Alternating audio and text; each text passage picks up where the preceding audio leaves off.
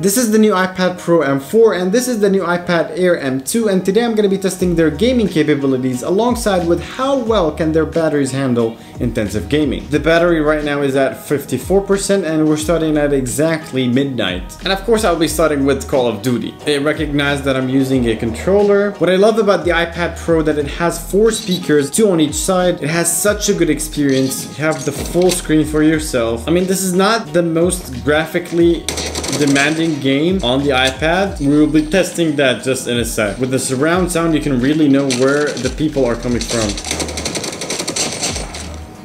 Yeah. Okay, now let's go to Genshin Impact. The iPad is barely heated up. They're pretty much 120. Oh my god, this looks amazing.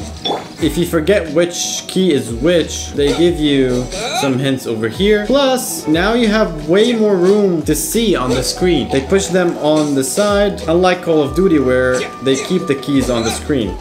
In one battle, the iPad is definitely cooking right now. The heat is coming from the middle, which I think where the chip is. Man, this is so far has been the smoothest Genshin Impact experience ever. I mean, look at it. 120 frames per second, no hiccups. Okay, let's test it with other fights.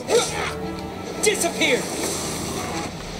Not bad. Also, one of the things that I really love is PS Remote Play. And of course, to be able to connect your non-PS controller, you need to turn it off, connect to your game, and then turn it back on. Here we go.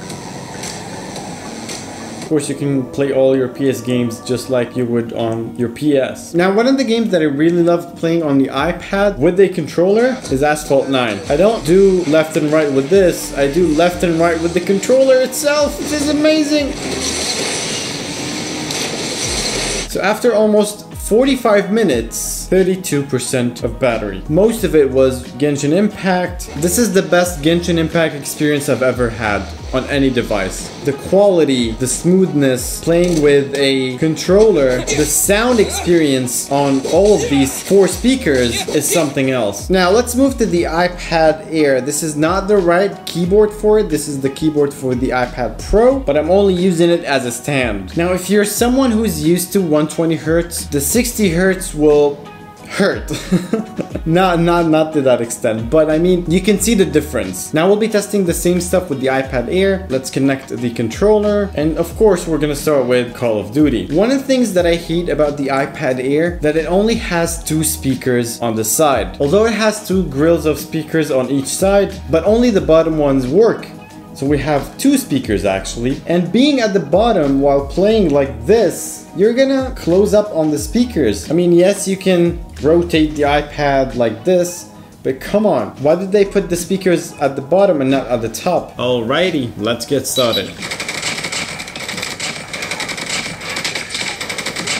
That's how it's done. Now let's go to Genshin Impact. Much different experience on the iPad Air than the iPad Pro. The iPad doesn't have 120 frames per second. Let's put it to 60.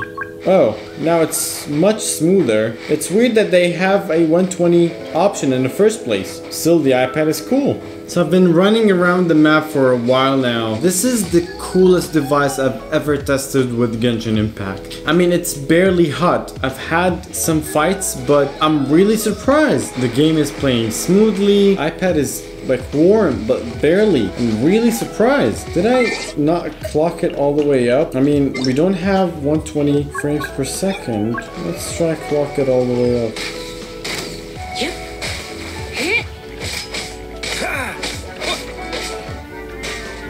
iPad is not like hot at all, which is very interesting. Let me check on the battery real quick. It's 29% and it's 145. 50 minutes of gaming, mostly Genshin Impact. Very interesting.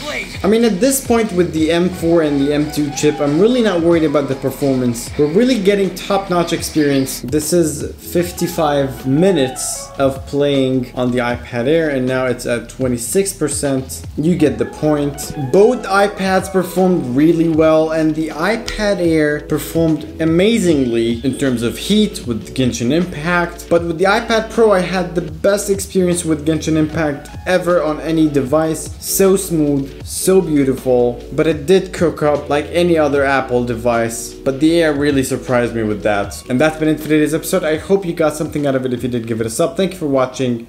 See you.